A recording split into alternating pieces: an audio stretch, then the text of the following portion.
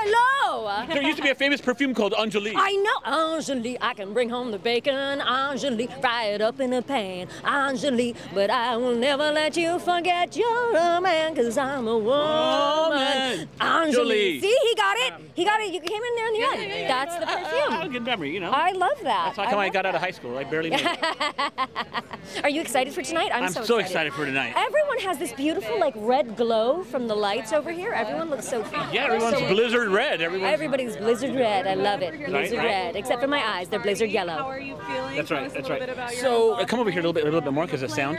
Oh yes. So tell us what what stuff did you do on Overwatch 2? Oh gosh, well I play Symmetra, so pretty much everything that is Symmetra oriented, that's me, which I'm excited about. I'm so excited about all of the interactive lines between the new characters. I feel like we get into so much more lore and so many more relationships. When Lifeweaver came out, I was so excited because Symmetra finally has a friend in the game. So all of the all of the re-recorded stuff um, I've been a part of, and it's just been a joy. Do you go to conventions and do signings and, and photos and stuff? I do indeed, okay. as an ambassador of the game. yeah, yeah. No. So how's- how is that when fans meet you? Like It's in amazing. Oh my God, Fernando is the best, best part.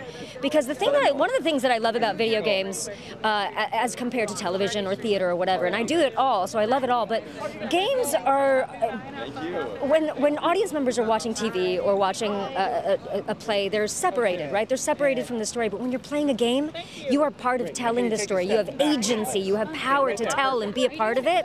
And that to me is really special. So much so that I I feel like. I feel like I have a relationship with the people who are playing with it, playing it just like they have a relationship with that character. And they can play those heroes and take those heroes out into the world and they have power and they have agency. Yeah. All right. Well, Yeah. great talking to you, Anjali. Great talking to you too. Thank you, thank you you. so much.